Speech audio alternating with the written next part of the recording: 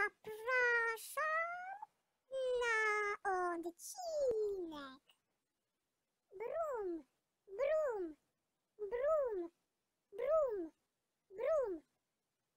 Ech, ech. O, jest. Uch, wreszcie na scenie. Pora odwalić koncert. Ech, uch, ach, ich, ech, oj. Szkoda, że to auto nie ma drzwi. Trzeba to auto przepchnąć, bo będą tu widzowie. Hyc, hyc, hyc.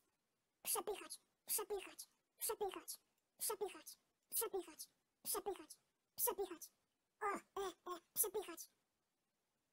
No to teraz można iść na scenę. Sprawdzenie głosu. La, la, la, la, la. Budzik się rozwala. La, la, la, la, la, la. Się rozwala. Idealnie. Szur, szur, szur, szur, szur, szur, szur. Elo. No idź do budy. Spotkamy się po koncercie. Szur, szur, szur, szur, szur, szur. Łocie pierun! Matko kluckusko! Na czym tu żeś przyjechał? Jestem bogaty. Kto mi odmówi? A tak w sumie to patrz ile mam hajsu. Poczekaj, ziom, zaraz go przyniosę. E, e, e. Mam go. Patrz ile hajsu. Wow!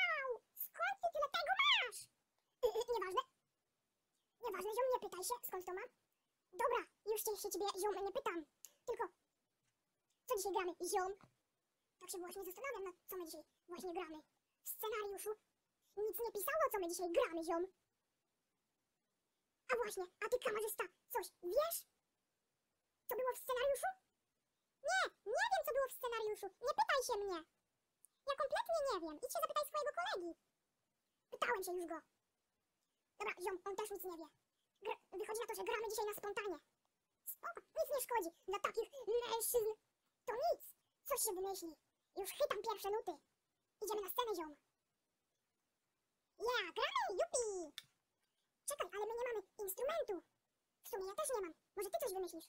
Już mam pomysł, ziom. Na hajsie da się grać. No to lecimy.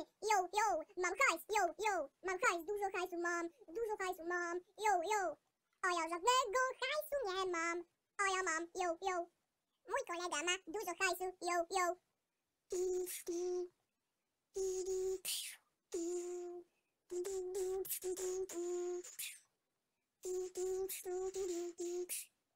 Yo, yo. Yo, yo, yo, yo. Na początku hajsu nie miałem, ale potem go z buta babci wygrzebałem. Yo, yo. Babcia się wkurzyła i podłogi w pokoju nie umyła. Tak jest. Dziadek przyszedł, nie wiedział co się dzieje. Podłoga nieumyta, garki niepozmywane. Dziadek babci się pyta, czego podłoga nieumyta? Babcia odpowiada, że stracili wszystkie oszczędności. Wszystko przez wnuczka. Dziadek mówi, że wnuczkowi potrzebna nauczka. Yo, yo, kapeć pusty został. Dziadkowie zdenerwowani, komornik puka do drzwi. Bo nie płaci czynszu przez rok.